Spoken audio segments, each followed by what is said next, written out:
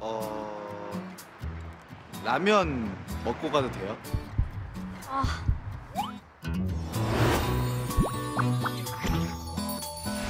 아 생일이라 기분이 너무 좋아서 그런가? 제가 술을 너무 많이 마셨나 봐요.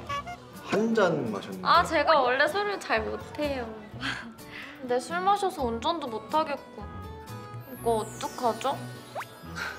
그러게요. 우리 잠깐 저 앞에서 쉬었다가 아 걱정 마세요. 제가 집까지 모셔다 드릴게요.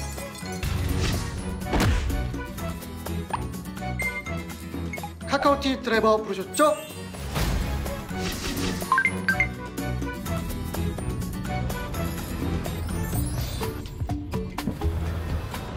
기사님 아마 여기서 우회전을 잠시 후 좌회전입니다. 걱정 마세요. 이 길이 아닌가? 아마 여기서 우회전인가 보다. 좌회전입니다.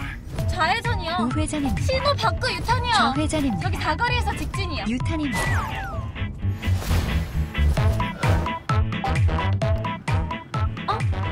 주차할 데가 없네. 저기 어두컴컴한데 다른 데로 가주시면 될 것 같아.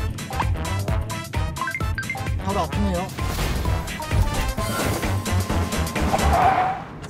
생일인데 이렇게 일찍 무사히 데려다 주셔서 진짜 대단히 감사합니다. 안녕히 계세요. 저 저기 왜요? 왜 왜 왜 왜 뭐요? 뭐 왜? 왜요? 어 라면 먹고 가도 돼요?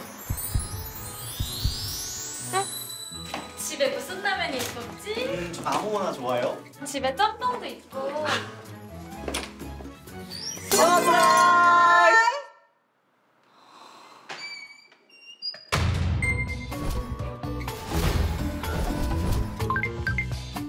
아니 저, 저 라, 라면 라면은요? 아 뭔데요? 아, 얘기해 출발해. 주세요. 하겠네, 진짜로?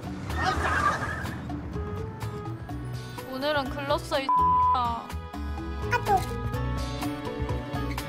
아! 관계 걱정 진짜 심하게 없네.